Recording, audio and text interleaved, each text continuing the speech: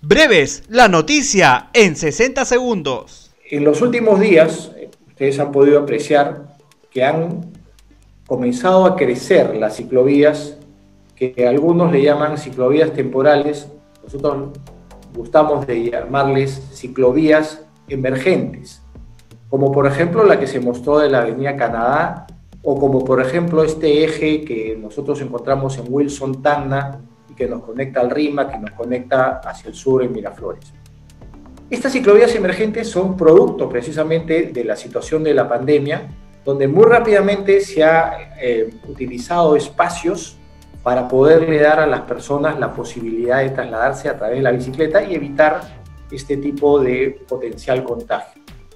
Hemos priorizado, por ejemplo, que estas puedan conectar con hospitales, con lugares de, donde se pueden hacer trámites, con eh, medios de transporte que sean masivos o que nos puedan dar alguna conectividad con otras ciclovías.